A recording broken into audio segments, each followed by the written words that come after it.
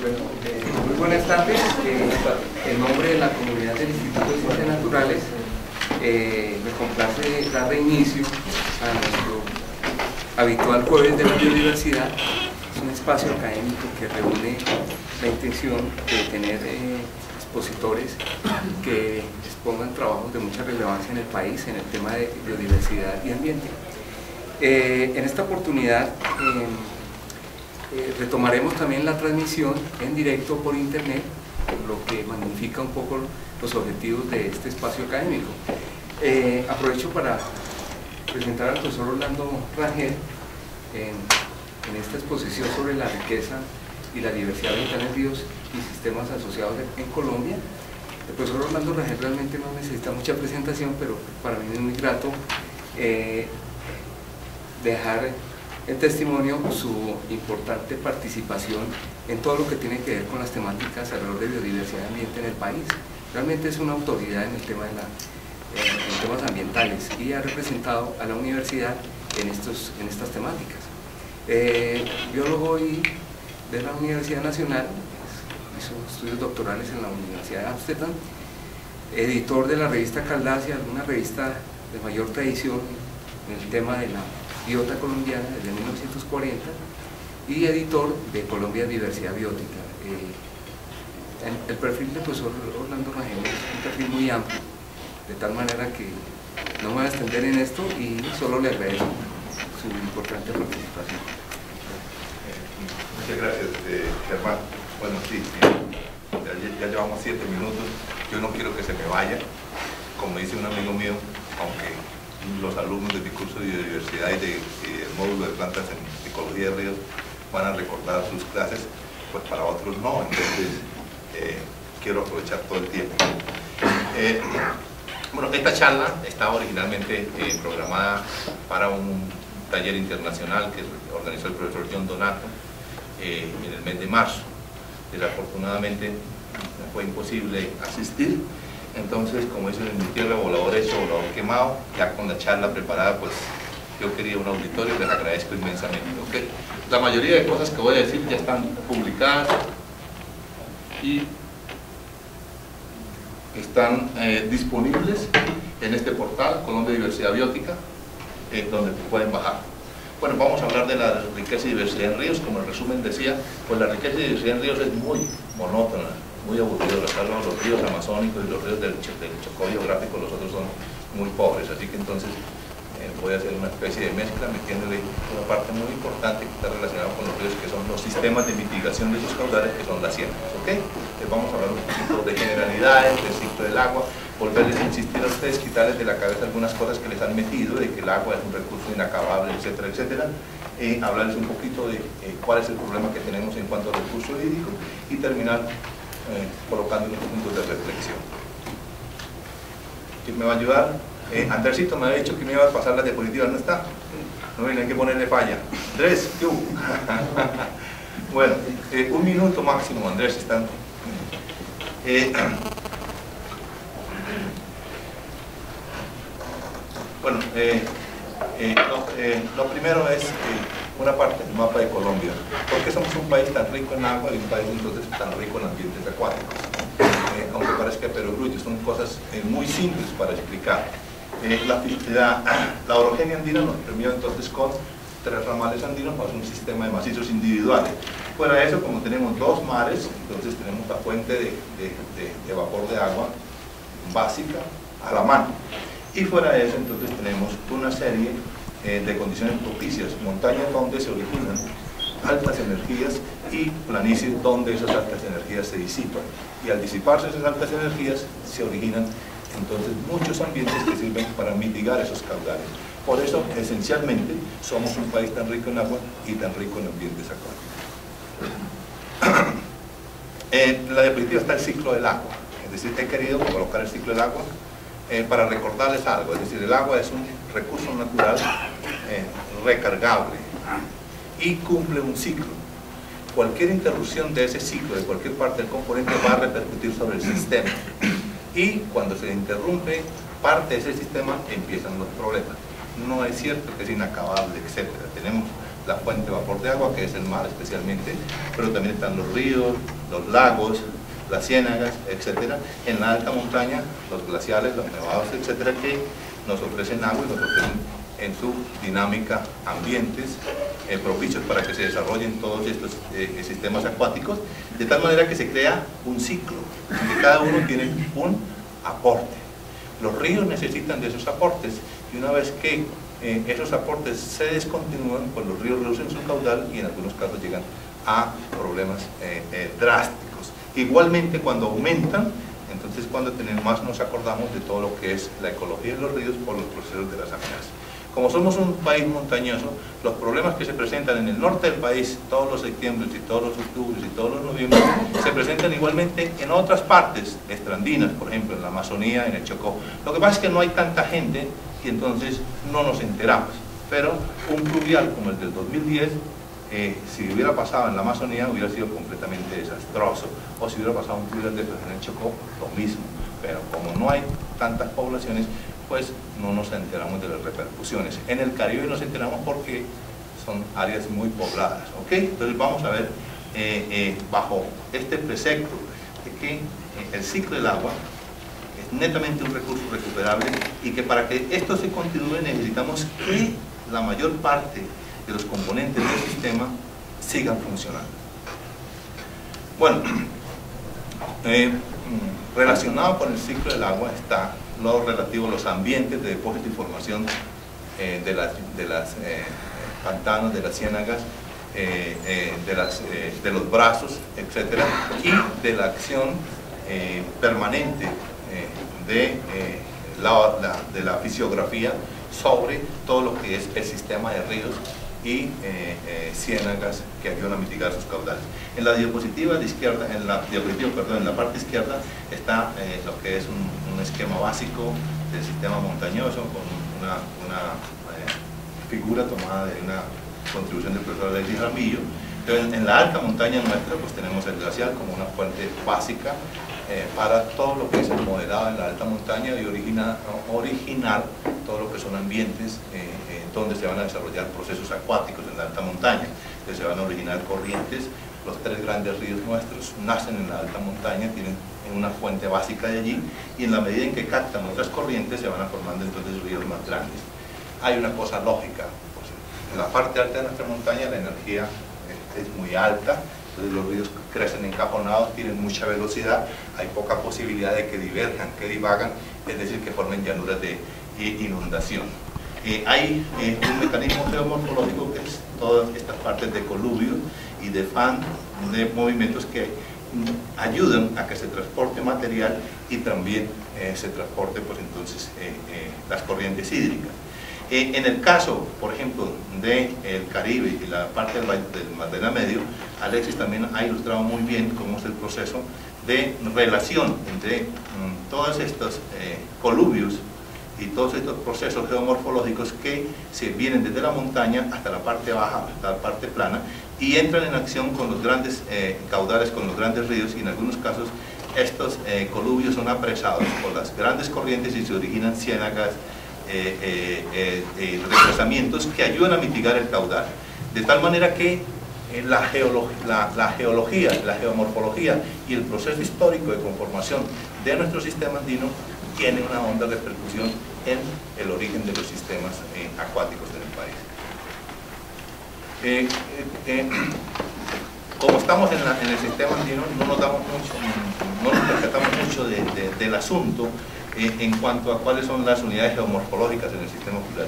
En la parte extrandina, en el Amazonas, el, el asunto es un poquito más fácil de entender porque estamos en una llanura y entonces en la llanura vamos a ver que el río tiene un cauce, que va a haber una serie de complejos de orillales, que en unos momentos el río cambia y entonces deja unos cauces abandonados, entonces quedan las madre viejas de la Orinoquía o las cochas de algunas partes de la Amazonía, que tenemos una gran eh, eh, zona que es la cuenca de inundación o la cuenca inundable, que ocupa entonces toda la llanura meámbrica y otras zonas donde pueden existir eh, inundación por parte del cauce principal y que en esa compleja geomorfología se pueden originar zonas de diques, zonas extensas de pantano que están sujetas a inundaciones periódicas por rebalse o por reborde. Y todo esto está enmarcado entre las terrazas aluviales.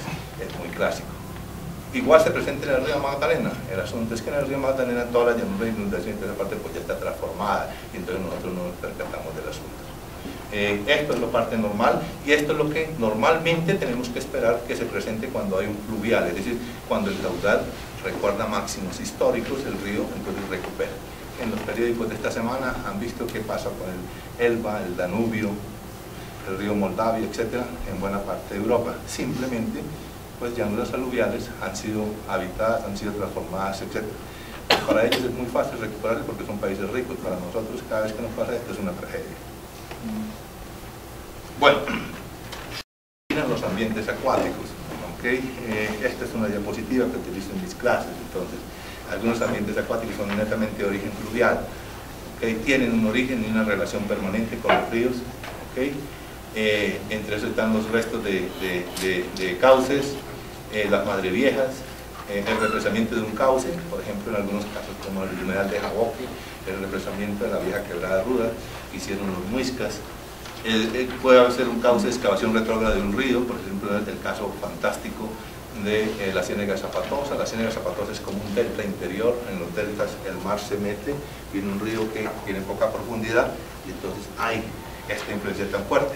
Caso parecido pasa aquí en Zapatosa, el río se salva muriendo y el Magdalena con su caudal lo hace retroceder y lo hace conformar una especie de delta. ¿okay?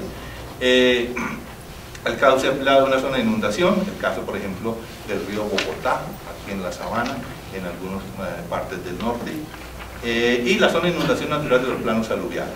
¿okay? Otros orígenes son eh, excavaciones producto del avance de las lenguas glaciales en la alta montaña, todas las, las, ciénagas, los pantanos, todos los asociados con los ríos en la alta montaña, está netamente relacionado con las excavaciones mecánicas de las lenguas glaciales y en el caso de los lagos más grandes asociados a ríos está asociado con las fases de levantamiento de las cordilleras. ¿ok? Bueno, eh, ¿cómo estudiamos nosotros la biodiversidad en todos los objetos de estudio? Ya eh, la mayoría de ustedes eh, están familiarizados, utilizamos los niveles, el nivel alfa de las especies, en este caso las especies vegetales, el nivel beta son las comunidades, creemos a fe ciega, como si fuera dogma, que sí es posible reconocer las comunidades vegetales, es decir, que hay relaciones de competencia que se manifiestan en conjuntos comunitarios. Entonces, esa es una filosofía, la aceptamos. Y creemos también que estos dos sistemas, más conocer las condiciones de geomorfología, de la acción de los caudales para el caso del de, eh, ambiente acuático, nos permite entonces diferenciar ecosistemas. Eso es lo básico que hacemos. Bueno, entonces voy a dar una visión al asunto tomando las plantas acuáticas. Bueno, en la alta montaña, la alta montaña, más o menos por definición, decimos que es todas las localidades por encima de 3.000 metros. Eh, otros autores dicen que 2.900, otros que 2.800. Podemos decir que 2.800, 2.900 hacia arriba hasta eh, eh, la parte nival. Esta la llamamos la alta montaña. En la alta montaña, la parte, la parte superior antes de las nieves es el páramo. ¿okay?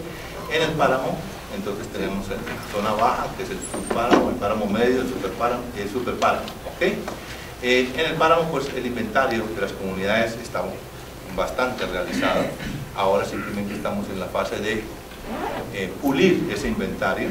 Más o menos tenemos un inventario de 295 comunidades para el páramo, de las cuales que nos interesan en la charla están los tipos de vegetación netamente acuática, eh, como esta, por ejemplo, o eh, tipos de vegetación asociadas con eh, ambientes acuáticos, como por ejemplo estos cojines duros de eh, plantago rígida o unos cojines más duros de distriquia muscoides, etc. De tal manera que en el páramo tenemos 46 tipos de la vegetación acuática y de pantano.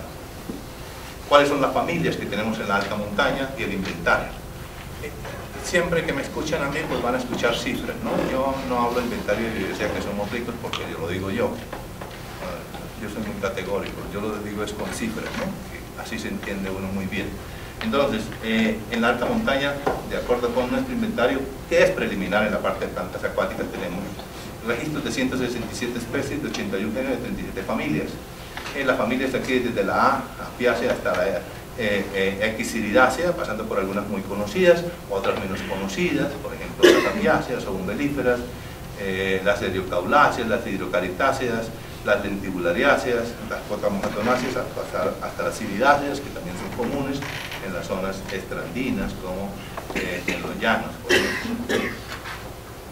Eh, respecto a eh, cuáles son mm, las familias, cómo es la expresión de esa riqueza a nivel taxonómico, la diapositiva pues se muestra cuáles son las familias mejor representadas en el componente de plantas acuáticas, plantas que viven en cubetas, que viven a las orillas de los ríos o que viven en ambientes en donde el nivel freático siempre está por encima de la superficie, es decir, siempre hay una zona inundada permanente. Eso es lo que definimos como eh, ambientes acuáticos. Entonces tenemos la, familia de las asteráceas, que son las dominantes también en la parte continental, la familia de las hiperáceas, Uncácea, Poácea y Potamogetonácea, que ya son más restringidas a ese medio. Y entre los géneros tenemos el género Cares, que es el más común, el más dominante, el más frecuente.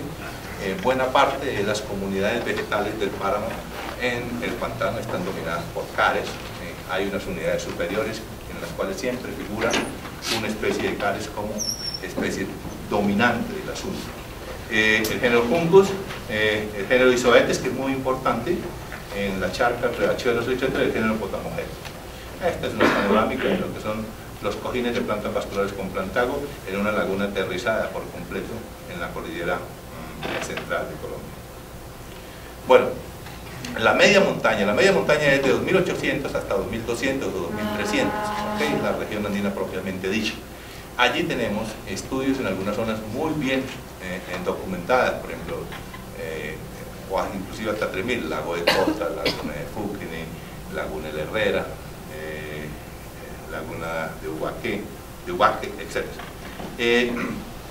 a mí se me olvidó mencionarles al principio que uno de los puntos de amarre de nuestro estudio es diferenciar las comunidades vegetales.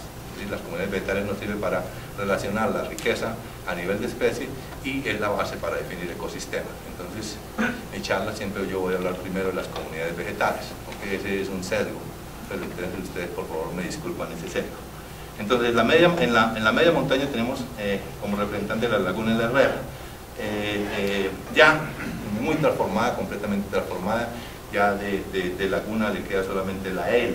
¿okay? Una vista de la laguna de la Herrera y, las comunidades acuáticas eh, relacionadas con el sujeto de la, de la muestra, por ejemplo, eh, aquí los juncales del junco redondo, Echinoplectus, o el anterior Exircus californicus, eh, mm, los tapetes flotantes de Buchón e que es un colonizador reciente en los ambientes andinos. Ichornia naturalmente no está en los andinos, eso se lo vemos algún coleccionista o algún profesor distraído de laboratorio que dejó escapar algunos bulbos y se fueron para allá eh, sí, el famoso bichón.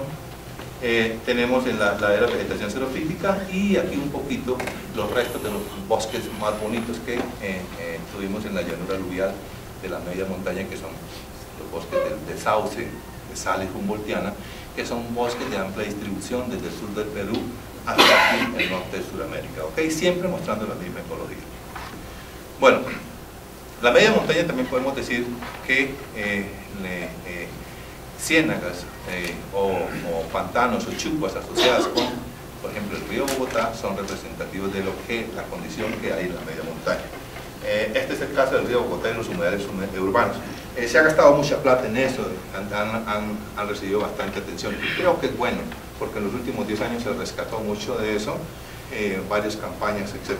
Nosotros trabajamos durante cuatro años el humedal de Jaboque y se produjeron muchas cosas, muchos, muchos, muchos artículos, etc. Desafortunadamente el libro integral no lo pudimos eh, publicar todavía. Bueno, de estos eh, humedales asociados al río Bogotá, por supuesto, el río Bogotá, pues como ya las condiciones son de, de completa muerte, pues no alberga ninguna vegetación acuática ni sumergida, ni enraizada, ni nada, sino simplemente en las orillas hay en algunas partes restos de lo que son los bosques de la llanura aluvial, los bosques de eh, alison, de Alnus acuminata, los bosques de salis humboldtiana. Pero en las humedales asociadas con el río sí se encuentra eh, vegetación acuática, ¿ok? Y sí hay una buena riqueza. Esta diapositiva es un perfil elaborado por Henry Arellano e ilustra de buena manera todo lo que es la zonación, es decir, la distribución según el nivel de la napa freática de la vegetación o de la serie de vegetación, desde la vegetación acuática sumergida propio, todo el sistema de media y alta montaña, mm, dominado por representantes de Myriophyllum o de Potamogetum, hasta la vegetación de pantano de ribera, donde están los juncales y los totorales. Entonces se muestra la vegetación sumergida con eh, eh, los camalotales, es decir, eh, vegetación que algunos dicen anfibia, es decir, como que sí, como que no, raíces que se entrelazan, empiezan a retener muchos sedimentos, se forman catequezuelos, etcétera, y se forman como unos firmes, como unos tapones. ¿okay? Eh, hoy en día tenemos que considerar la vegetación flotante porque es un amigo, invasor, la tarulla, eh, Eichonia que llegó hace muy poco, unos 30 años, a la, media montaña, y después tenemos diversas combinaciones, eh, herbazales con especies de polígono, eh, polígono puntatum, eh, rumes eh, crispus, rumes noctusifolios, etc. Y la vegetación de ribera de los eh, juncales de Xenoplectus y, los doctorales de, de Esta es una zonación que en el Teatro Ideal de los Andes, de la Patagonia hasta Venezuela, se debía presentar. ¿ok? Así, en esa forma. Vegetación de aguas profundas, vegetación de aguas medias, vegetación de la orilla. Cada vez que hay una interrupción, pues se presentan cambios. La humedad de Jaboque ese es el mapa de vegetación del humedal de Jaboque. El humedal de Jaboque es un clásico ejemplo de lo que eh, sucede cuando se interviene un sistema de estos. ¿okay? Este es el mapa de vegetación de Jaboque y ustedes ven entonces que en algunos casos en el centro del humedal, donde es el sitio más profundo, pues tenemos vegetación que debe estar aquí en las orillas. ¿okay? Entonces ahí están los diferentes tipos de vegetación que se presentan en el humedal de Jaboque y es un ejemplo para mm, eh, ilustrar lo que sucede cuando se intervienen estos humedales por construcción de jarillones, por eh, eh, colocación de escombros, etc. Entonces se cambia por completo la zonación. Entonces las comunidades de ribera aparecen en el centro, las comunidades acuáticas desaparecen, etc. Eh, algunas eh, algunas, algunas um, diapositivas de las principales comunidades en Jaboque que se van a presentar en toda la media montaña e inclusive hasta la eh, alta montaña. este que es el juncal de Chenoplectus, o de, de Chenoplectus californicus, de junco, redondo, que se presenta en todos los lagos, lagunetas de media montaña. inclusive hasta 3.000, 3.100 puede alcanzar. es vegetación muy, muy, muy típica Ustedes lo ven aquí, en todos los vallados que llaman los bogotanos aquí de, la sabana, se encuentra, es lo primero que uno ve por los lados de los cementerios del, norte, etc. ¿okay? Este, que son los tapetes flotantes de Ichonia, que como les dije son mm, muy recientes en la mayoría de ambientes eh, eh, acuáticos de la media montaña.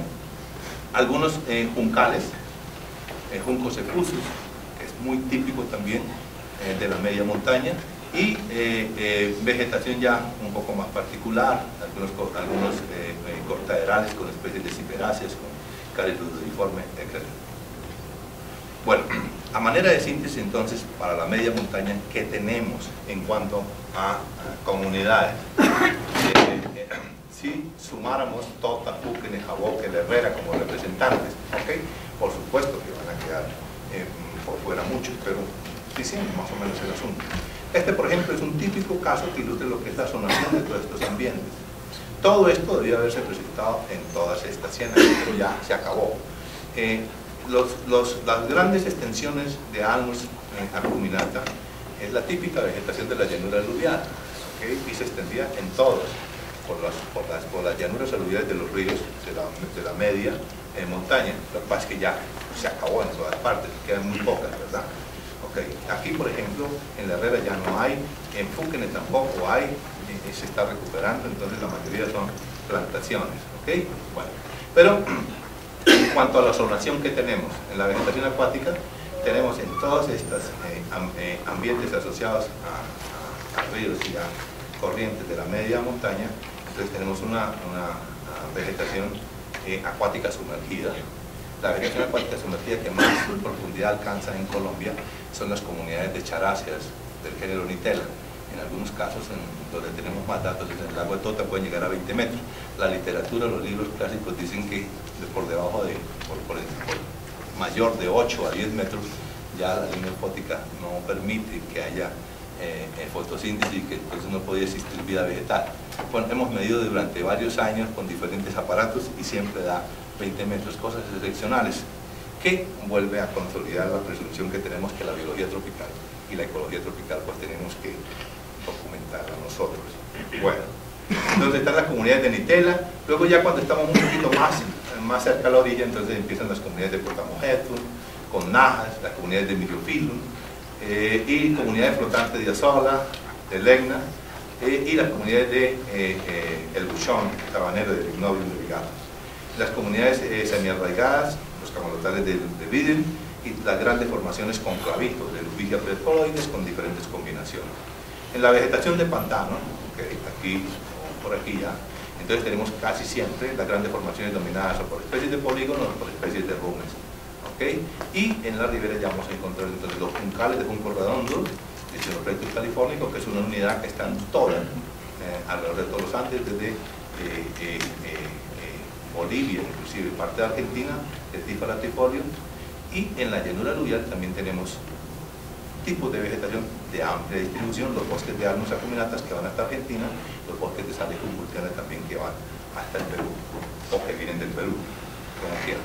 En la parte de media montaña no tenemos muchos datos, tenemos datos escasos. Eh, la vegetación eh, asociada con ríos y con sistemas asociados, por lo tanto los, tapetes de Ichornia crasipes y Pichis de en su ambiente natural. Eh, los taluyales son propios de las tierras bajas. En la vegetación enraizada, los dramalotales de pasto los que como el Espíritu Santo, están en todas partes. La vegetación de pantano también tipos de vegetación de amplia distribución, los pastizales de Melágenes apresicaule, el matorral de Liconia, los herbazales de la Boca Chica, el Niculata, el pastizal de Lercia, y en la vegetación de ribera vamos a tener los cañares de Ginerius agitatum y uno muy importante que es el matorral de Tesarín Tegrifol, el arizo de clima caliente. Bueno, cuando ya pasamos a otro escenario, al Caribe, ¿qué tenemos en el Caribe? Eh, en el Caribe entonces vamos a tener una zona donde se va a disipar mucho la energía que vienen transportando los ríos, ¿verdad? Eh, Alexis Jaramillo propuso este, estos esquemas para explicar entonces cuál es la relación entre los ríos y sus medios de mitigación de caudal, las ciénagas, ¿verdad? Los ríos cuando van con tanto caudal, para mitigar ese caudal, como se dice, ¿qué hago con tanta, con tanta agua? Pues originan caños, originan caños. Y estos caños se enumeran dependiendo del volumen. Ese es el gran problema en nuestra ingeniería. Los ingenieros nuestros lo primero que hacen es ¡pum! pasar una carretera y seleccionar los caños. Por supuesto, al momento en que se recupera la historia del río, pues vienen los grandes problemas, ¿verdad? Matan las ciénagas y dañan todo lo que es el río, haciéndole una configuración eh, de obra civil. Lamentable, eso lo vivo diciendo en muchos foros, y a mis colegas de ingeniería, hay que estudiar algo de ecología regional para decirle a nuestros ingenieros civiles que el asunto no es la línea recta y listo, hay que mirar, ¿ok? Entonces, esos sistemas de caños ayudan a mitigar los caudales y en ese sistema de caños, entonces, se originan ambientes sobre los cuales la diversidad vegetal va a prosperar. Bueno, mm, en el Caribe, que es una de las zonas que tenemos mejor documentada, tenemos este, estos, ambientes acuáticos, fluviales, es decir, netamente la acción del río. ¿sí? Aquí todo lo que es la llanura de inundación, por supuesto, esa llanura de inundación de todos los ríos de las zonas pobladas está completamente transformada, o por carreteras o por barrios, etc. Entonces, al pobre río ya no le queda casi eh, sitio para expandirse, ¿verdad? Bueno, tenemos un ambiente fluvio lacustre, por ejemplo, ya una especie de delta, cuando entra el mar, viene el río, entonces se van formando una especie de laguitos, y tenemos un ambiente netamente eh, eh, lacustre, por ejemplo la ciénaga de Santa Cosa, eh, con su cubeta, su zona de llanura aluvial y su bosque de tierra.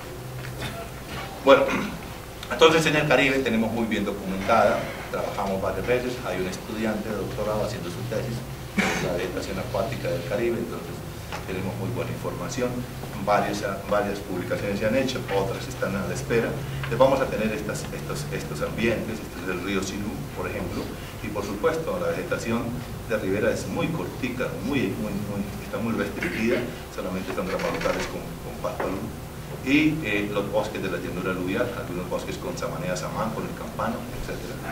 La vegetación de la llanura aluvial aquí, por ejemplo, ya en plena época de aguas altas, entonces hace que la diversidad y la riqueza eh, pues cambie eh, asociada con estos pulsos.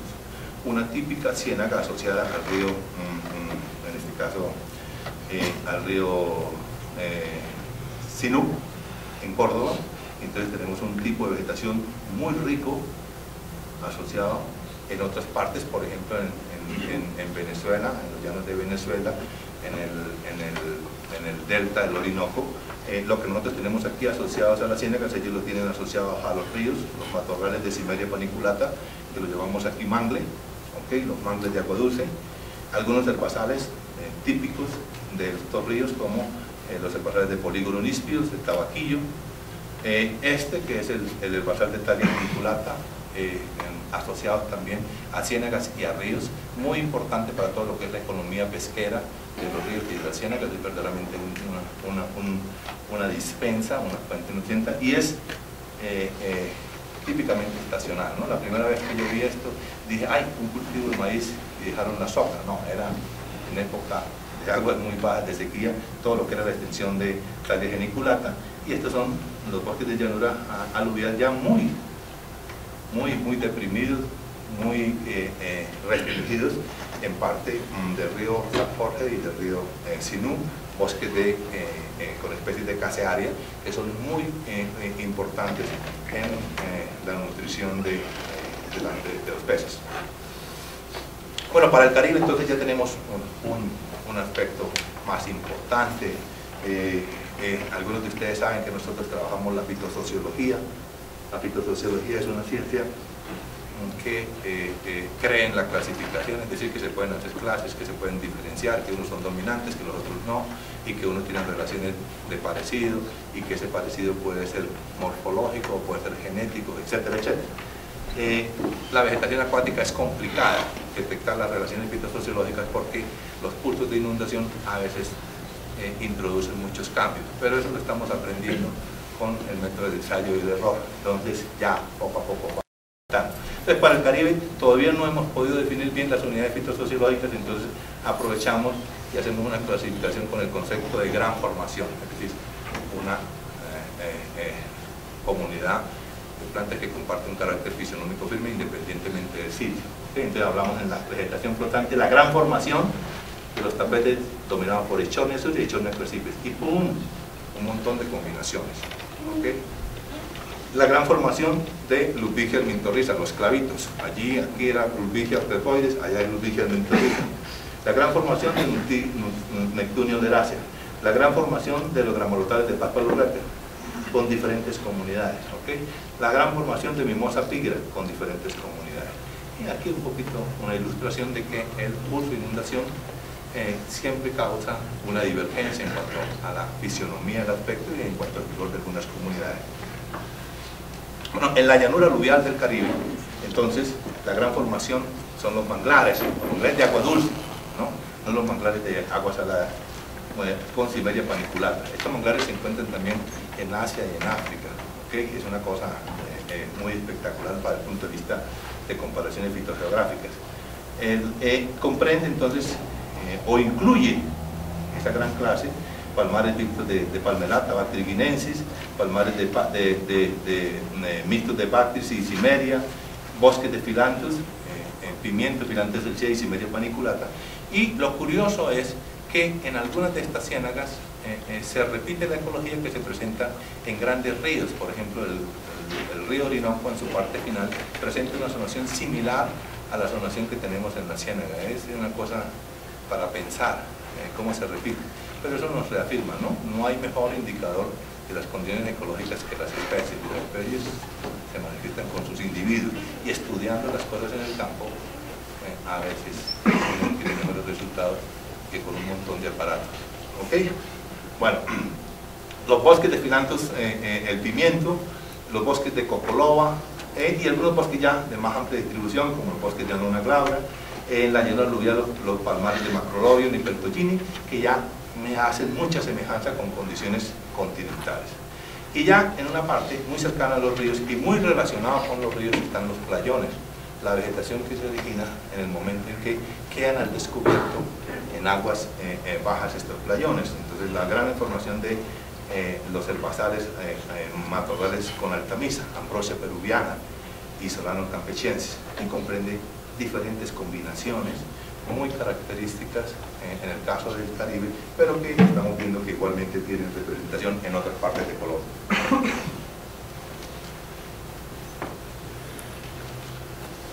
Bueno, el, inventario entonces de cómo es la biodiversidad de las plantas acuáticas para el Caribe, pues nos permite más o menos decir que hasta el momento tenemos eh, registros de 55 especies, en, en, el, la y en el pantano, en la llanura aluvial, cerca de 400 especies, las familias más dominantes en, el medio acuático y pantano, las familias más dominantes en la llanura aluvial, los géneros más eh, ricos. Eh, en el Caribe tenemos un ambiente también muy importante que son los estuarios. En Denis Cortés hizo su, tesis de maestría sobre los estuarios, eh, sobre la vegetación de estuario de la bahía de Cispatá, es un caso muy particular, muy lindo. Eh, que ilustra lo que es eh, una transgresión marina en los últimos 1500 eh, años. Hace 1500 años no existía esto. Los últimos 1500 años el mar avanzó, hizo retroceder el Sinú, también dice que cambió de curso, claro, un proceso de retroceso del Sinú que cambió, por supuesto, claro, porque el mar tiene más fuerza, tiene más caudal, etc. Y se originó entonces cuñas salinas, se originaron todos estos manglares. Eh, en estos manglares pues ya la caracterización de la vegetación nos ha permitido decir que hay una gran formación de bosques de, manglares dominados por el mangle rojo rizófora mangle con diferentes combinaciones, manglares de eh, rizófora con este, manglares de rizófora con peliceria rizófora, el piñuelo, manglares de rizófora con la licenia gérmenes, manglares de rizófora con la nucularia racemosa. Y también hay una combinación de rizófora mangle con ficus dendrociales, es decir, una especie más de agua dulce, de pantano, más que todo bosques pantanosos también, y eh, eh, curiosamente encontramos eh, Broira el cativo, tan típico del Chocó y del Magdaleno Medio antes de que el ferrocarril acabara con esos bosques. ¿Ok? Perdón. Y la riqueza está representada aquí, en esta familia. Los géneros más ricos, Ludvigia, Ficus y Así que, bueno, el otro escenario es el Chocó geográfico. Bueno, el Chocó biográfico ya todo está publicado en el libro 4 de, la serie Colombia Diversidad Biótica, lo pueden eh, eh, mirar por internet. Los que no tienen, a veces les obsequiamos eh, algunos de los libros que nos quedan. En el Chocó, Silvio Zuluaga, profesor del Departamento de Biología, hizo un excelente trabajo aquí. En el norte, en el Parque de los Castillos, hizo una donación fantástica que nos ha permitido entonces extender el asunto para las otras partes sin eh, en el Chocó tenemos dos sitios excepcionales para entenderlo de la vegetación acuática, que es el norte todo lo que es la zona eh, del río Atrato, la llanura del Atrato, y el sur con todo lo que es la zona de la llanura aluvial del Patía. La gran diferencia es que aquí no hay una barrera eh, geográfica, una, cordillera, eh, y entonces hay acción del mar y del agua dulce, mientras que aquí sí hay una acción de una cordillera que me aísla todos estos ambientes de la acción del agua salina. ¿ok? Por supuesto, en Chocó la diversidad de los ambientes hídricos es mayor que en cualquier parte. Eh, hay de todo. Eh, tal vez cuando estudiemos con más detalle el Amazonas podremos decir si se acerca, pero hasta ahora la diversidad del Amazonas es abrumadora, en tanto en ambientes acuáticos como en ambientes de la llanura aluvial como en ambientes eh, semipantanosos, etc. Mm, mis estudiantes se acordarán de esta diapositiva. Entonces, para el sur, en la zona de estuarios, pues tenemos todo lo que es la zonación con los manglares y luego unos tipos de vegetación muy importantes, únicos, excepcionales, que son los guandales. Eh, esos guandales son más o menos unos 5 o 6 tipos especiales. Son bosques de la llanura de inundación, de zonas con agua permanente, casi que rodales puros. Eh, algunos muy famosos son los natales, pero desafortunadamente por su condición de casi rodales puros condenados a la extinción, al exterminio, porque el afán maderero predomina sobre cualquier otra cosa. En el norte aquí entonces tenemos la acción del, río Atrato que nos crea una zonación como esta, eh, eh, vegetación acuática, vegetación sobre los vacines, es decir, en la medida en que el sedimento se va cargando, eh, la zona de rebalse, creando una zona de inundación permanente, que es lo que ilustra, por ejemplo, el famoso tapón del Darién, y sobre ese tapón del Darién hay una comunidad muy típica que son los famosos arracachales, y luego viene entonces una zonación que incluye bosques, por ejemplo, como los cativales, o como los bosques de Machare, de Sinfonía Globulífera, los tangariales. Eh, esta es una foto aérea tomada por Henry Arellano, el río Atrato, el, tapón, el Ichonia crasipes, el arracachal, el arracachal con de estos bosques pantanosos con crisobalana nicacos y eritrina púdica, ¿sí? y esto todo el famoso tapón. Esta es la zonación típica. Como una síntesis entonces de todo lo que es la vegetación asociada con ríos, eh, eh, eh, pantanos y, ciénagas, en el, en, el, en el Chocó tenemos entonces mm, tipos de vegetación, desde los que se establecen en la zona estuarina, con los diferentes tipos de manglar, el manglar de rizófora, más a la acción del mar, el manglar de la lungularia, más relacionado con la acción del agua dulce. Eh, eh, aquí en el norte, los famosos palmares de Mauritiela macroclada, en los bacines, y eh, a, lo largo de toda la zona, fantásticos tipos de vegetación acuática, netamente asociados a los famosos guandales. Eh, el guandal de, de Cuángare, de los guandales de Sinfonia, Globulífera, eh, los datos que tenemos sobre el Chocó pues nos dan cifras abismales, que no las he incorporado todavía porque es lógico, las cifras son demasiado abrumadoras y uno dice, ¿será cierto o será solamente artificio de, los datos de colección? Que ir a campo y comprobar. Es decir, de acuerdo con estos datos, pues eh, tendríamos más o menos en pantano, más de cerca de 1.500 especies, que es bastante, bastante alto. Eh, en, comunidades que sí estamos un poquito más seguros, tenemos esto, 11 comunidades en pantano, 17, perdón, en estuario, 17 en pantano, 21 en llanura aluvial, un total para 86 especies. Estas son fotos de los diferentes tipos de ambientes. Estos ríos, al, rebosar, entonces crean una llanura inundación permanente y en algunas veces cuando hay subsidencias, hay algunas madres viejas, etcétera, se crean estos ambientes. ¿okay? Aquí tenemos todo lo que es el sur, por ejemplo, en el, Patía, todo lo que es la zona de manglares, al norte los, los, los, frijolillares o los panganales. Bueno, eh, eh, la otra zona estrandina importante es el Amazonas. El Amazonas solamente hasta hace cuatro años la convertimos en un objeto de estudio desde el punto de vista de vegetación ya habíamos trabajado la parte paleoecológica, ¿ok? Entonces en el Amazonas también tenemos una cosa muy con, los ríos eh, muy, muy crucial. En el Amazonas siempre el factor desencadenante de todos los cambios es el efecto catastrófico de los ríos.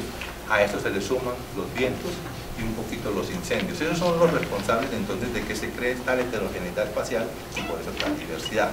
Por supuesto, estas fluctuaciones en los ríos afectan mucho la diversidad y la riqueza las plantas acuáticas, estas fotos de Agustín Rudes, el mismo sitio, cerca del Parque Macayacos, en aguas bajas y en aguas altas. Bueno, algunos ambientes mm, en la parte del Amazonas. Eh, aquí cerca a Leticia, eh, eh, asociado con el bosque inundable, con Cecropia latiloba probablemente, los grametales de Párpalo repe. aquí en los caños, especialmente los desbasales de Ambrosia peruviana, es increíble, es una cosa tan visible y ningún investigador los había mencionado no entiendo por qué. Eh, en, una, en una zonación, por ejemplo, en la laguna Yaguarcaca, uno puede encontrar el local de pasto a los repes, el pasar natural de Ambrosia, los bosques inundables. Es decir, mm, se repite la, la zonación. El único, la, la, diferencia más grande es que aquí el espacio es más reducido, mientras que en la Amazonas es mucho más grande. ¿Okay? Los gramalotales, por ejemplo, y un tipo de vegetación muy importante para la cuenca amazónica asociado con los ríos que son los cananguchales, los palmares de la palma cananguche o la palma moriche, mobrita flexosa. Bueno, entonces, eh, en esa parte amazónica que estaba aquí, eh, en el perfil ideal del libro, del libro 2, que es la serie por la biodiversidad biótica, entonces tenemos que en, en, en, en esta vegetación de aquí, pues tenemos eh, los talullares, en algunos casos algunas formaciones en sitios eh, de, madres viejas con Victoria Regia, etc. Pero la vegetación acuática típicamente es muy pobre. Entonces en las áreas pantanosas mal drenadas, aquí es donde empieza la mayor riqueza, tenemos los, los palmares de Mauritia flexosa. Los palmares de Mauritia flexosa es la gran formación. Desde el punto de vista fitosociológico, los Regos ya las estudió, los clasificó muy bien, su trabajo está publicado en la serie Tropenbos los palmares de, de, de, de Canangucha, de Caquetá, etcétera, que son extrapolables para toda la cuenca amazónica. hay diferentes combinaciones con especies de britáceas, con especies de bignoniáceas, con especies de zapotácea. Y en algunas partes, como en Venezuela, estos morichales, perdón, estos canaguchales son lo que queda eh, eh, conservado en la cuenca amazónica. En la llanura de inundación permanente, es decir, lo que en la literatura pues se habla de las parceas, entonces tenemos los bosques de Cratotropis, los matorrales de Montichardi arborescen y en algunos casos mm, moris, eh, cananguchales en combinación con de tal manera que eh, el inventario de la vegetación acuática eh, en el Amazonas está aquí. Más o menos esto es lo que tenemos, o teníamos hasta el 2007, tipos de vegetación acuática, que tenían las llanuras aluviales, en las diques y barras, en las vegas y pantanos, etc. Y otro tipo de, tipo de vegetación de 106. Bueno, la otra parte importante de la zona andina está la de la orinoquía. En la orinoquía, especialmente vamos a tener una gran diversidad de riquezas aquí, en esta parte, en la llanura de inundación y también en otra parte que existe en considerar que se llama la llanura eólica.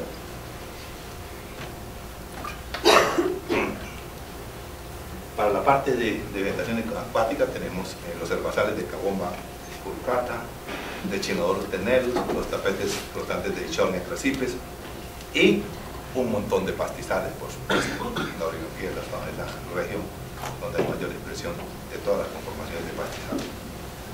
Mm, en la llanura aluvial, especialmente en los bosques de Vega, están unas comunidades eh, que nos recuerdan entonces los sistemas andinos. En la llanura aluvial de los ríos andinos también, por ejemplo, tenemos los bosques de Leoea Selmane y de Lobita, Camarona, de Puruma Guianensis, el palmar bajo de eh, Nocalco Patao, el mil pesos corresponde a Montín, tan característico de nuestros ríos del Caribe y otras partes.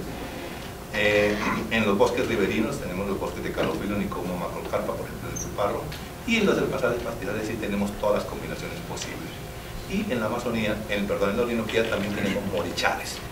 Aparentemente, desde el punto de vista histórico, los morichales de la Orinoquía son más recientes que los caranguchales. Bueno, no es nada sorpresivo, ¿no? Se acuerdan cuando les explico el origen de la flora de Colombia, pues primero fue el vacío amazónico y allí había Mauritia y después fue que se rellenó el vacío orinocense, pues es lógico esperar que lo que está en el Orinoco sea más reciente que lo del Amazonas, ¿no? Los morichales de la Orinoquia aparentemente son muy recientes eh, y constituyen una preocupación en cuanto a conservación. Eh, estos morichales es de los ambientes que debíamos proteger más profesor Palá González es una de las personas que más sabe eh, en el concierto latinoamericano sobre Morichi. Eh, muy amablemente me regaló esta diapositiva de una de sus presentaciones en que muestra la importancia de Morichi. ¿no? Recuerda del ciclo de agua. Ellos fabrican lo que llaman los, ríos de, eh, de Morichi. hay una permanente relación entre el agua que evapora. esto nunca se detiene en crecimiento, solamente detiene crecimiento cuando naturalmente alguien compite y lo elimina resto siempre el crecimiento es constante. Eh, y en la diapositiva, en la parte superior, muestra más o menos cómo es el gradiente sucesional hasta convertirse en un verdadero eh, moriche. Un pantano inarbolado hasta un morichal típico y luego las senescencias son morichales. Estos ambientes son muy importantes desde el punto de vista de la economía hídrica y los servicios ambientales, tanto en la Amazonía como en la Orinoquía. Más preocupante en la Orinoquía porque son de origen geológico, histórico, geográfico bueno, eso es toda la belleza que tenemos. Ahora vamos a lo doloroso. ¿Qué pasa con esa riqueza y esa diversidad vegetal que tenemos en los ambientes de ríos y de sierras? Eh, pues los estamos interviniendo. Otra vez la clásica para mis alumnos.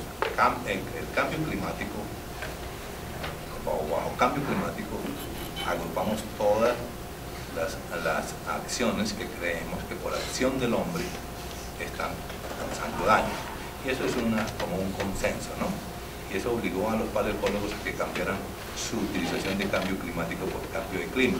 Porque el cambio climático ahora se mete todo, cambio de clima, cambio de, cambio de, distribución de las especies, eh, adaptación, desplazamiento, todo eso. Es decir, cambios climáticos son una serie de eh, eh, efectos de la intromisión antrópica. Eso es bajo el cambio climático.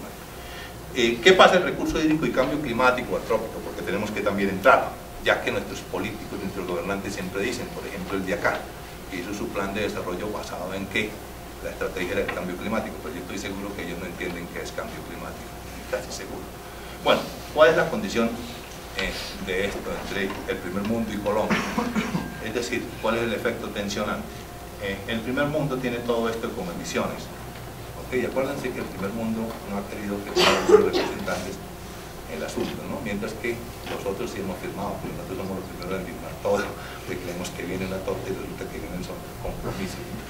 Bueno, eh, los países como Colombia, tenemos todo esto, que está directamente relacionado con el cambio climático. Tenemos una fortuna, es que no nos están contabilizando eso. ¿okay? nosotros nos contabilizan las emisiones por la generación de energía, por la generación de petróleo, etcétera, pero por mm, las quemas, por la pérdida de cobertura, por el avance de utilización de sistemas acuáticos, por la erosión, por eso no nos cobran nada y esos son verdaderos aportantes significativos sobre el cambio climático.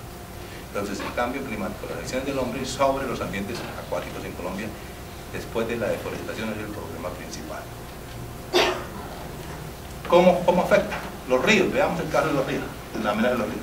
En las cuencas, por ejemplo, veamos el río Magdalena.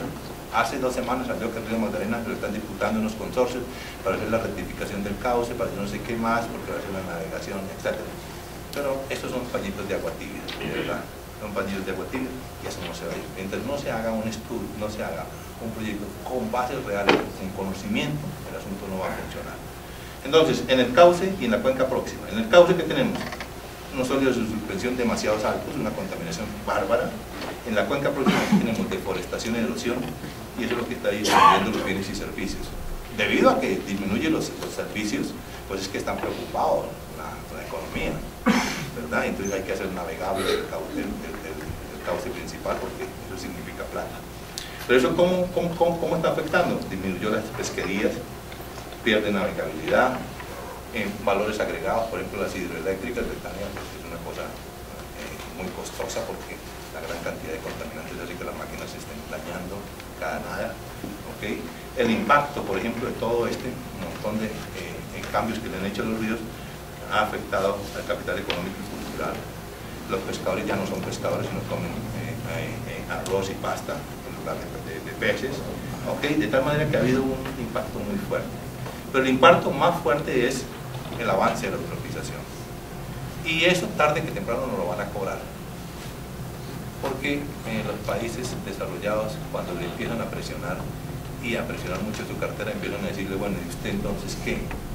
Y ya como están haciendo con Brasil, llegará un momento en que digan, bueno, vamos a empezar a cobrarle a otros países, ustedes nos van a cobrar la cantidad de emisiones de metano, CO2 que tenemos con los procesos de contaminación de nuestro río. La otra amenaza mayor, las ciénagas. Esta es una diapositiva también que ilustra para mostrar. Este es un proceso natural, ¿no? Un proceso natural global. Todos los ambientes acuáticos continentales, se van a secar, se van a perder, etc. Y así como se secan unos, otros se producen, no hay problema. El asunto es que la intervención, el cambio, por acciones antrópicas, que está significado en todo esto, en las obras de ingeniería, el aumento de materia orgánica, el aumento de nutrientes, eh, el aumento de la utilización, vamos a hacer que esto se muera. ¿Qué es lo que el problema es que, esto es un proceso natural. La intervención antrópica lo que hace es aumentar la velocidad de desaparición Todos nuestros lagos, lagunas de alta montaña tienen un origen entre 7.000 y 13.000 años. Los más viejos tienen 13.000 años, los más jóvenes tienen 7.000. Y ustedes ven, por ejemplo, esa aterradora cantidad que hemos perdido en la alta montaña. Es decir, entre 13.000 y 7.000 hay una diferencia mínima en pérdida por acción natural de los cambios de clima fuerte, de 7000 para acá, es una cosa aterradora. Y en los últimos 200 años lo que hemos perdido es para salir corriendo o ponerse a llorar. Entonces el problema es este, ¿cómo hacemos entonces para lograr convencer a las autoridades de que se puedan tomar medidas sencillas para tratar de disminuir el impacto? Este también es un trabajo de Alexis Jaramillo para mostrar cuál es un efecto del cambio climático sin necesidad de hablar tantas barbaridades. Todas las ciénagas eh, del Magdalena en la parte del departamento de Cesar eh, tienen un tiempo de vida mínimo.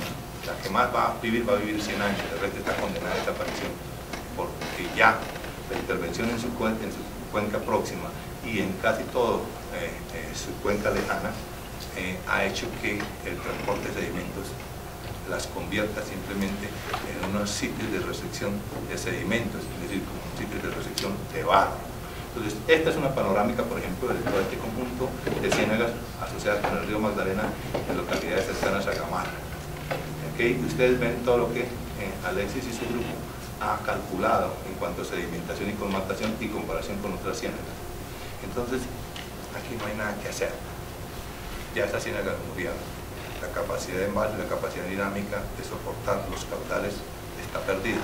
Y cada año el gobierno tiene que darle un bolón de plata a la gente, el alimento, etc. La única solución es cambiar a esa gente donde vive, de los alrededores de Gamarra, de los alrededores de otras partes de municipios, y mirar cómo eh, tratamos de alargar la vida eh, de estos ambientes. Pero esto ya no hay nada que hacer, ya llegaron a una situación. Por supuesto, la vegetación acuática aquí pues sufrió el impacto y ya no se encuentra casi nada. Bueno, mm, ¿cuál es la estrategia? Siempre es como el consejo, yo pienso que no todo está perdido, que es necesario eh, mirar el contexto socioeconómico de la utilización, intervención, conservación, es decir, eh, tenemos que, nuestra juventud especialmente, tiene que enterarse de cuáles son los mecanismos que están causando eso. Eh, yo si fuera gobernante tendría que decirles, y en algunas cosas no combato al gobierno, le digo estoy de, parte de ustedes, porque miren, el país en el 2002 eh, dijo tenemos que crecer, nuestro Producto Interno Bruto tiene que crecer mínimo un 10%. En el 2011 crecimos 9.8 con respecto al 2002, se cumplió pero a costos muy significativos. mientras creció el Producto Interno Bruto por inversión para explotación de materia prima, el impacto de la explotación de esa materia prima sobre los recursos naturales fue muy grande. Entonces, recibimos unas regalías, pero no aprovechamos para formar gente, para ver cómo vamos a recuperar esa parte. Entonces necesitamos que todas estas cosas no se sigan haciendo sin cuantificar el impacto tenemos que mirar cómo se está moviendo la economía internacional, ¿ok? Y tenemos que incrementar el capital intelectual, fortalecer las instituciones gubernamentales, a las CAR y los grupos universitarios de investigación.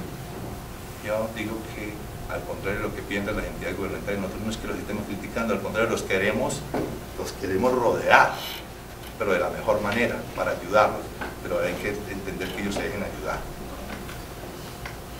¿No? La siguiente.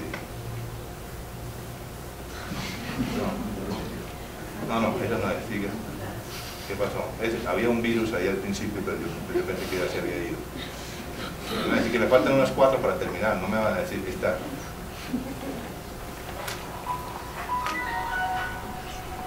No, arriba, arriba, arriba, arriba, arriba, arriba, arriba, arriba, arriba, arriba, arriba, arriba, arriba, arriba, arriba, arriba arriba, arriba. Otro poquito, otro poquito, otro poquito, otro poquito, otro poquito. Ahí, ya, listo. Bueno, entonces, claro, eh, nosotros necesitamos fortalecer autoridades ambientales para favorecer la balanza de la eh, pero nosotros necesitamos que lo que produce la universidad, lo que producen los grupos universitarios, que son buenas herramientas, se incorporen para que le tomen decisiones equilibradas nosotros necesitamos cambiar este concepto de seguir manejando todo lo de biodiversidad y todo lo del medio ambiente con base en el mapa de ecosistemas. Que el biótico tiene lo único que dijo alguna vez un colega que no menciono porque de cuánto lo comprometo. Lo único que tiene biótico fueron las personas que lo redactaron. No, tenemos que verdaderamente decirle al gobierno. Pero cuando uno hace eso y le dice al gobierno, uno queda como se dice, con un masazo. Hace hace poco se, se firmó un convenio entre el Ministerio del Medio Ambiente y el Humboldt por 86 mil millones de pesos para estudiar y delimitar los páramos y los humedales. Yo acabo de venir de una reunión del Humboldt, donde pedí en nombre de la Universidad Nacional claridad sobre eso y me dijeron que no, que lo que van a hacer es trabajar con información secundaria. Y lo que hemos hecho toda la vida nosotros. Es, es esto justo aquí tiene que haber una reacción muy fuerte. El país más biodiversificado del mundo no puede seguir manejándose con estas herramientas. Bueno, las consideraciones finales ya, el mensaje político se mandó. Eh, ¿por, qué somos, ¿Por qué somos un país rico? Una, una costa de perogrullo. Pues somos un país rico porque somos un país muy húmedo, de húmedo a super húmedo. Entonces somos más ricos que el promedio de América Latina, más ricos que el promedio de, de partes, por ejemplo, con una fisiografía parecida con nosotros. Eh, si ustedes ven nuestro sistema andino es una cosa excepcional de agua, pero el gran problema es que ni siquiera el concepto básico en la geografía lo hemos logrado meter y ahora la, la, fue que la geografía la quitaron de la escuela secundaria. Entonces, somos un país, mire, por regiones todo esto va en una clasificación, la de Torguay, quiere decir que son climas muy húmedos. Entonces, vamos a un clima muy húmedo y cuando compara el mundo, pues ustedes ven que aquí está todo negrito, y el resto todo es de otros colores hay una relación directa entre eh, mayor recurso de agua y mayores ambientes. Eh, el inventario de las plantas acuáticas, entonces, más o menos lo que tenemos hasta ahora son 115 familias de termas, más 4 de lechitos. Acuáticas propiamente dicho 40 familias, pantanos 25, ambiente inundable 50, total de géneros 220 y especies por confirmar porque no estoy seguro mucho con lo del, con lo del Chocó, entonces necesito conocer más restringidos a tierras altas de los géneros 42, a tierras bajas 128, compartidos 50. ¿Okay? Eh, mm, dentro de las familias acuáticas figuran estas, para algunos de ustedes son muy, muy, muy, muy, conocidas, las matáceas en las tierras bajas, las caditricháceas en las tierras altas, las alorragáceas en las tierras de media montaña, eh, las bucáceas aquí alrededor de Bogotá, las iridáceas en la Orinoquía, en la Amazonía, en el páramo, las potamogetonáceas en el páramo, las coáceas en todas partes, las najáceas en tierras bajas, en el páramo también, perdón, en la, media montaña, en pantanos familias como esta, las betuláceas, las de los alisos, las lutíferas, las del machare, eh, las anicáceas, las del Sara, las del Salis, en ambientes inundables, entonces un montón de familias que también tienen representantes en ambientes continentales. Eh, para lo que más hemos trabajado, las tierras bajas en el Caribe, pues sin ser arrogantes, creemos que hemos hecho un buen inventario, pues tenemos géneros de representantes de géneros acuáticos, de pantano, de la llanura aluvial. Bueno, y consideraciones finales ahora sí. Eh, eh, procuré pues revisarlas ahí como para hacerles un repaso. Pero lo primero es que toda la región de Colombia hay diversidad de ambientes y se cumple una cuestión, a mayor precipitación hay mayor riqueza y diversidad. Pero ojo, ¿no? No quiere decir que también donde hay demasiada humedad no hay mayor riqueza, como en el caso de algunas partes del Chocó. Muy importante en el estudio de la, biota acuática es la zonación. Entonces en tierras bajas tenemos una zonación que comprende la vegetación acuática sumergida, entonces las famosas herbazales de ceratophyllum, de utricularia, de cabona, de gueria, velodea, de vitela, de potamogetum, de los Andes, el paisaje emergente de núfar, acuática flotante, los, los tapetes de Ichornia, en ribera los, los de Chenoplectus o los cativales de Proira, y tipos especiales, los manglares en el Chocó, los natales en el Chocó, los morichales o carmonichales en los llares en la Amazonía. ¿Qué nos permite decir lo que hemos estudiado hasta ahora?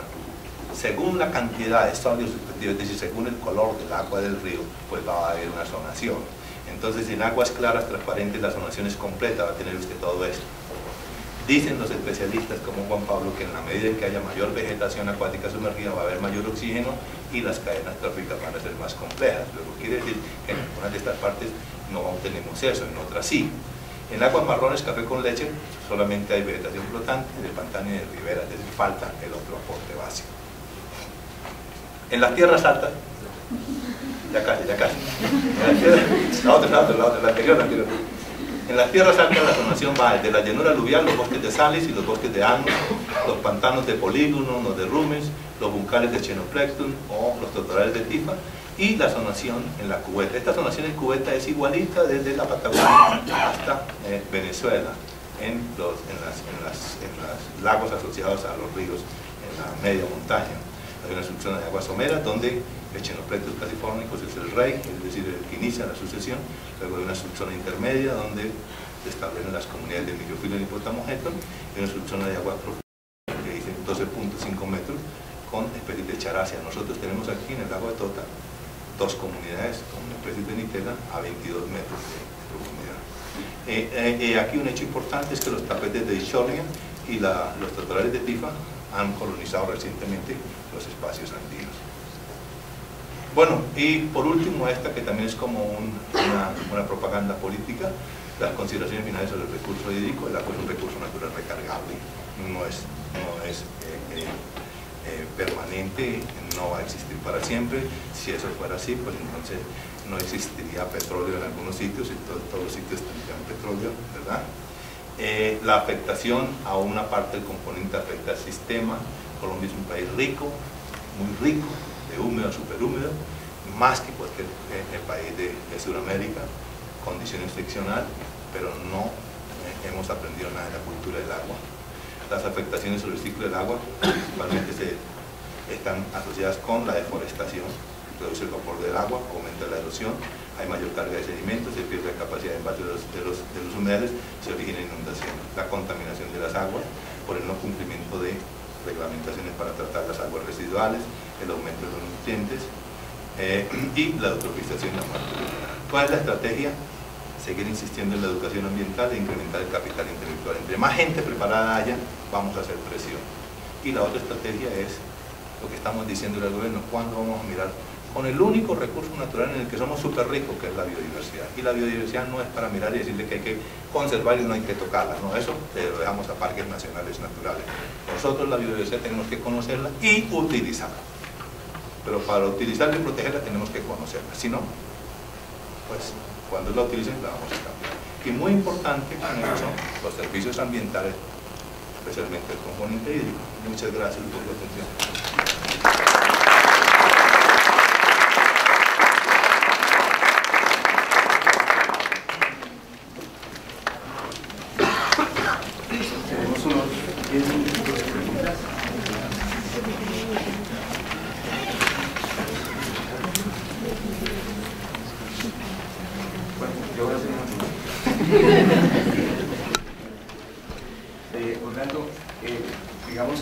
clara la, caracterización de la vegetación con criterios fisiográficos y quizás de, con criterios de fitosociología. Eso ratifica un poco esas clasificaciones que han tenido el título de ser clasificaciones clásicas. Estoy hablando de Casas, Thomas Van der Hamen, y quizás no riñen con los estudios que el grupo suyo está haciendo en la actualidad. La inquietud es la siguiente, hay dos factores que se incorporan acá, es el factor del disturbio y la necesidad de unas estrategias de conservación. Entonces la pregunta es, si los estudios clásicos basados en criterios fisiográficos y basados en relaciones fitosociológicas eh, siguen vigentes, ¿cómo se podría incorporar el fenómeno del disturbio y que se pueda leer en esos estudios? Desafortunadamente aquí no se ha podido convencer a quienes toman las decisiones de que hay que tener ciertas herramientas. Eh, uno no puede eh, tratar de mapear especies, eso es una locura. Uno puede decir voy a mapear las especies dominantes, ok, ya empiezo a entender, o voy a mapear las especies que utilizo, pero no todas porque si no, no hay, posibilidad de crear unidades. Y usted tiene que crear unidades. Es decir, como nosotros no tenemos casi cartografía temática, el asunto se complica. Estudiar esto mm, por cualquier, yo siempre le digo a mis estudiantes, si hay un solo método, o hay una sola manera, hay que dudar, por principio. Si hay una sola manera de hacer una cosa, hay que dudar, entonces mejor, mejor no hacerla. Hay varias maneras. Una manera puede ser el estudio eh, con base en la. Yo lo sigo porque creo que es, es lo mejor, es decir, las especies me dan mejor indicación de las condiciones del medio. Mejor que cualquier aparato. Mejor que cualquier. Si yo conozco la ecología de las especies, puedo predecir la ecología del conjunto, más o menos. Y puedo hacer varias cosas fantásticas. Muchas veces se prefiere lo contrario, pero entonces choca porque hay que conocer las particularidades. Usted dice la geografía, mire, aquí hay mucha gente que sigue considerando que las dos, fases, las dos, las dos caras de nuestras cordilleras son iguales. Entonces, yo ya me cansé de decirle que, eso no es cierto, que lean una cosa mínima para que entiendan que el lado oriental es diferente al lado occidental. Es lo mismo en esto. Los ríos de aguas claras originan una diversidad y una riqueza diferente a los ríos de aguas eh, oscuras. Los ríos de grandes caudales tienen una dinámica diferente a los ríos de pocos caudales es muy diferente la dinámica en la media y en la alta montaña a en la baja montaña y en las tierras planas. ¿Qué hacemos? Es muy difícil, ¿verdad? Es muy difícil a veces porque uno como que llega un momento en que en que llega a la desesperación por impotencia. No, de verdad, miren, no importa, no importa cuál clasificación se siga, pero que sea una clasificación que incorpore conocimiento. Y entre mejor ese conocimiento esté asociado con el componente de la biota, mejor. Una clasificación que tome como punto de partida las especies es lo ideal para mí. Pero esto no riñe con ninguna otra parte. No, mire, eh, pues eh, esto, lo, esto se, se, se, ha adelantado en los últimos años. En 1900, hace años, como decía usted, hace años, eh, tratamos de, de, hacer vegetación acuática, pero fue imposible, imposible. Entonces, eso quedó ahí como un remanente, como un remanente y en los últimos años que entramos al Caribe pues vimos eso entonces estamos dándole un impulso y estamos rescatando lo anterior a ver si se hace algo de esto. Eh, y por eso entonces es el afán de que las instituciones conozcan que hay unos estudios ya que pueden servir de base y que no sería necesario eh, eh, hacer grandes inversiones. Mire, el río Magdalena lo van a intervenir y lo van a intervenir, pero yo les aseguro que la mayoría de ellos no se han tomado la molestia de leer los últimos trabajos del grupo nuestro de sedimentología y geomorfología, en donde dan todas las tasas de sedimentación para buena parte del Magdalena. Entonces siguen trabajando con tasas de sedimentación de hace 80, 100 años, entonces eso nunca va a progresar así. Entonces tenemos que tratar de impulsar e incrementar el capital intelectual, que la gente cada día se preocupe por estar enterada de lo que se ha producido. Eso tiene que ser una preocupación de nosotros los docentes universitarios estar insistiendo en la gente, a la sociedad, que tiene que enterarse de lo que se produce, porque si no, no vamos a progresar.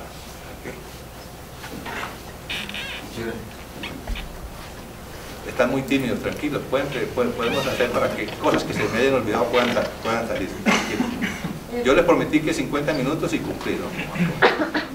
Eh, profesor, digamos, que preguntarle si para este trabajo ustedes tuvieron la oportunidad de el trabajo, digamos, también como con las comunidades, como buscar, digamos, la percepción de los habitantes de esos lugares, de los vecinos de los morichales, de los ríos, los que pensaban del, territorio, digamos, como un trabajo como con la comunidad, porque pues de cierta manera ellos pues son los primeros que pues ayudan a la, conservación. Eh, pues obviamente están pues, los políticos, las partes administrativas los que deciden, pero pienso que pues la, percepción de la gente que, vive allí, como, cuál es o, no.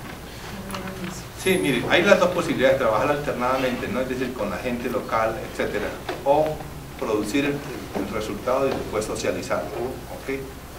Eh, nosotros hacemos eh, siempre el segundo, una vez que producimos el resultado lo socializamos, porque son trabajos que hay que hacerlos eh, bajo ciertos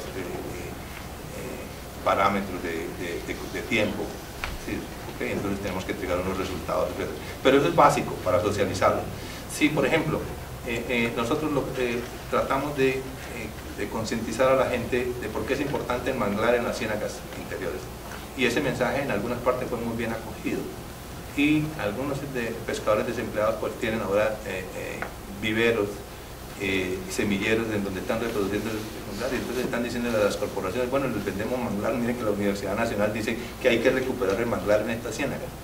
Eso ya es una aproximación, porque ya la gente dice, bueno, ellos están diciendo porque es importante. Eh, los, manglares, el profesor eh, Diego, yo le he insistido varias veces y algunas veces me ha ayudado de que es necesario, por ejemplo, decir, bueno, con todo ese montón de, pastos que tenemos en las riberas, ¿cuáles de esos tenemos posibilidad de desarrollar un paquete, tecnológico, por ejemplo? Eh, y para decirle a, los finqueros, hombre, no queme eso, en lugar de eso, coséchelo, mire a ver si se puede hacer cuestión de, hacer con heno y comportaje, lo que sea. Son cosas que se pueden hacer. La tarulla, eh, ha habido ya en algunas partes, por ejemplo en Chimichagua, asociaciones campesinas que dicen, bueno, en lugar de, estarnos quejando, pues vamos a cosecharlas en todas épocas de aguas altas y entonces vamos a hacer una clase de papel, etc. Entonces, eh, si ven, es decir, con base en los resultados de esas aproximaciones se buscan eh, eh, nuevas proyecciones del asunto. Pero lo importante es eso, tener el documento desde nuestra visión occidental para qué sirve y luego socializarlo con ellos. ¿Sobre qué regiones de, o sea, sobre, sobre, qué sectores más bien de la región subandina es donde más se ha trabajado porque pues, el profe decía que casi no, no se ha trabajado esa zona. Pero o sea, más o menos qué lados es donde se ha, se ha estudiado la vegetación acuática. ahí? donde mejor tenemos documentos en el Caribe. Probablemente duramos 12 años trabajando en el Caribe, entonces tenemos muy- mucha información y muy buena información. Eh, y es donde pues hay más escenarios, pero usted se puede imaginar en la, en la media montaña. En la media montaña vamos a tener eh, sobre las rocas esta podostomonacia, que me olvidó mencionarla, y luego en la orilla el cañal de Ginerio Raditaton y no más, porque inmediatamente pasa la carretera, entonces ya todo se acabó, entonces es muy poquito lo que tenemos, muy poquito, muy poquito. Entonces prácticamente que, que, que con, lo que con lo que tenemos es, creo que es más que representativo, no va a haber gran diversidad, a no ser que vamos a regiones donde no haya una presencia humana fuerte, pero el resto ya, la mayoría de nuestros ríos de media montaña y de baja montaña están muy intervenidos. Cada les cambian el curso, cada lo trasvasan, etc. Entonces ya la historia se perdió. Bueno, pues agradecemos.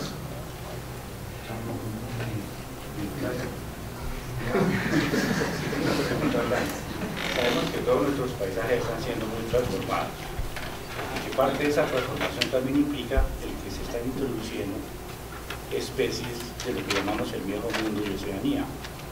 Y no solo las que entraron la vez pasada, sino las que seguimos trayendo. Y que muchas de esas especies están apareciendo en cualquier parte. Para el caso de plantas asociadas a sistemas hídricos, en ese gradiente, ¿en qué parte está ocurriendo más el cambio de la diversidad nuestra por especies del viejo mundo de Oceanía? Mire, Edgar, pues de lo que conocemos, es, eh, lo, más preocupante es eh, la proliferación, por ejemplo, de, de Gueria, eh, en los lagos de media montaña, Tota, Fúquene, algunas cosas que es, es un, es un invasor que también fue voluntario e involuntariamente introducido, en Tota es una plaga, acarrea muchos problemas, etc. Eh, eh, Fúquene, por ejemplo, eh, está muy afectada y las, las- partes de los ríos, de los riachuelos de la sabana por, por Eichhornia, y sabemos que eso también es reciente, y esto también fue voluntario. Eh, yo pienso que eh, TIFA también fue metida en el sistema andino. Hay un problema que, pues, afortunadamente mis colegas taxónomos no me han podido ayudar para mirar, porque en literatura, por ejemplo, nosotros llamamos tifa latifolia y eso no existe, pero nadie me ha, dicho por qué. Lo que existe es tifa eh, dominguense, que es sinónimo de tifa angustifolia. Pero, eh, por ejemplo, las tifas en la media montaña, arriba de 2700 no florecen, lo que quiere decir que no es su hábitat natural, es más abajo. Entonces también es un elemento probablemente de reciente eh, colonización. No sé si en el caso de Tifa haya habido la mano del hombre o hayan sido las, la- las- los patos o alguna cosa de estas, ¿ok? Eh, ese caso, eh, las especies de, de- de lentejas de agua pues prácticamente también son de muy fácil dispersión. Y algunas asteráceas, estas eh, eh, Cirsum y esas que están muy comunes, algunas eh, también en las orillas de los pantanos también están extendiendo su área de distribución. Pero no hay un censo detallado así, ¿no? Los rumes, por ejemplo, aquí en la sabana de Bogotá hay extensas formaciones de rumes, de rumes crispus, que es eh, eh, una especie europea. Sí es, o, o parcialmente, o Sí, sabemos que es esta media montaña alta, sea, que tiene más densidad de humanos, sea, que introduce cada vez más especies. Y dice que se agrega por cualquier. Y de pronto hay eh, algunas están subiendo de la pata. Entonces, eh,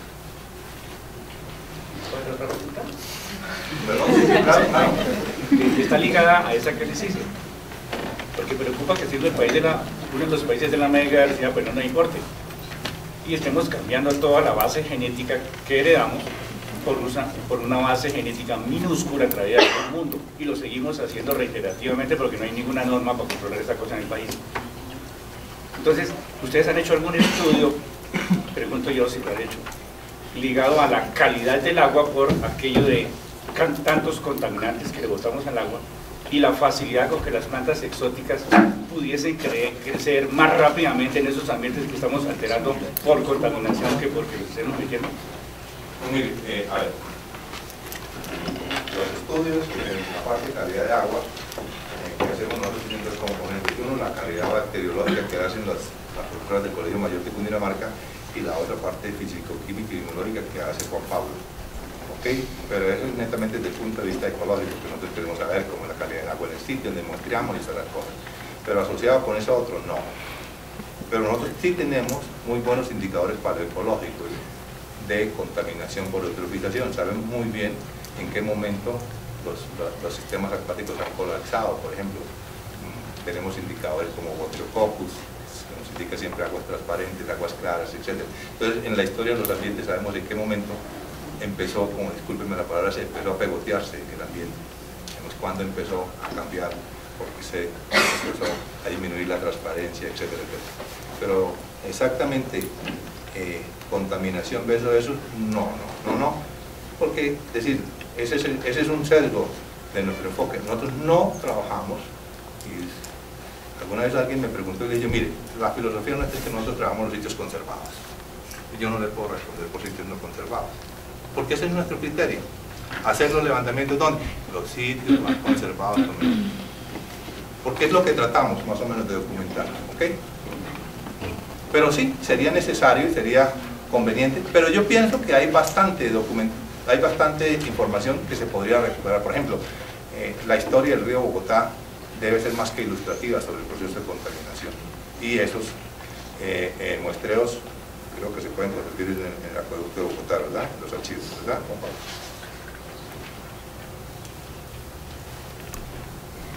mi pregunta es si se han hecho muestreos con especies animales y como que tan afectadas se ven con la pues, deforestación y con las eh, intervenciones vegetales eh, en, en, los lugares pues, que usted ha estudiado mayormente. Como hable de más durito porque ya, ya el alma me empieza a pasar unos, que si trabajamos con comunidades animales sí, con, o sea, especies animales y como qué tan afectadas respecto a lo que sean los estudios que ustedes han desarrollado eh, se, se, han visto pues afectados. Sí, sí, sí, sí, mire, los profesores, sí, sí, sí.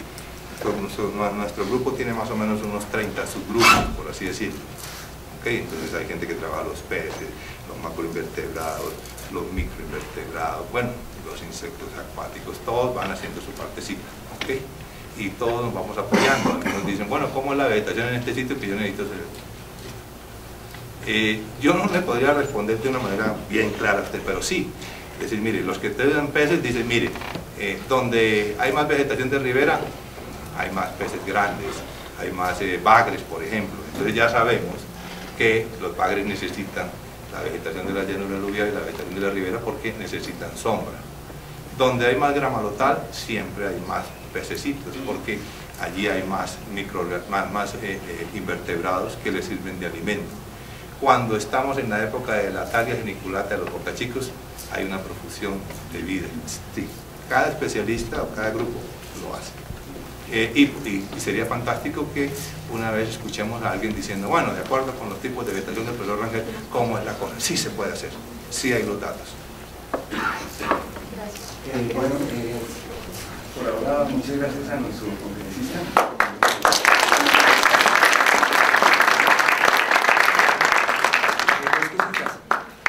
uno están invitados a la próxima conferencia, entra dentro del ciclo invita invitados especiales del Instituto de Ciencias, se programará el día martes a las 4 de la tarde, están invitados. Eh, otra cosa, a la salida recibirán un, una mini guía sobre, a propósito del tema, sobre los usos del buchón de agua. Es un intento de estudios experimentales y caracterización de manejo con esta especie en áreas de recuperación afectadas por proyectos hidroeléctricos. Es una participación de profesores y estudiantes egresados de biología y del instituto en que acudiendo a la solicitud de la empresa pública de Medellín eh, abordan el problema de manejo de especies eh, afectadas por la problemática de la colmatación de cuencas hidrográficas. Bueno, muchas gracias por